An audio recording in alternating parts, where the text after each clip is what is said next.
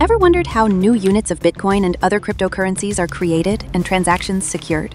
Let's explore the fascinating world of crypto mining. Simply put, crypto mining is the process of creating new units of a crypto asset and verifying transactions to add to the blockchain. It's a combination of problem solving and record keeping that keeps decentralized networks running. This digital work is done by powerful processors, specifically designed to calculate as fast as possible. In the early days, you could mine Bitcoin with a regular computer. Today, due to the built-in difficulty adjustment, mining now requires high-powered GPUs or specialized machines called ASICs for greater speed and efficiency. Bitcoin and some other cryptocurrencies use a system called proof of work. It's like a giant lottery, where miners race to guess a winning number. Each miner keeps guessing over and over until someone finds a massive, rare target number.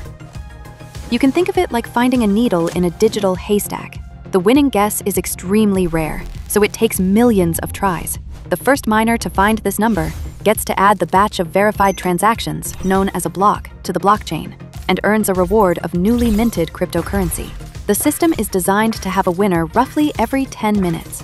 This is where the built-in difficulty adjustment comes into play. If miners start winning too quickly, the system makes the challenge of finding the target number harder, making it harder to win. If it's taking too long, it simplifies the challenge, making it easier to win.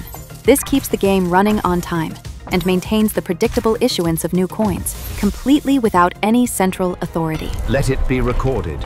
Henceforth, this gold shall be the new standard of the realm. An important conversation around crypto mining centers on its energy consumption, which it requires a lot of.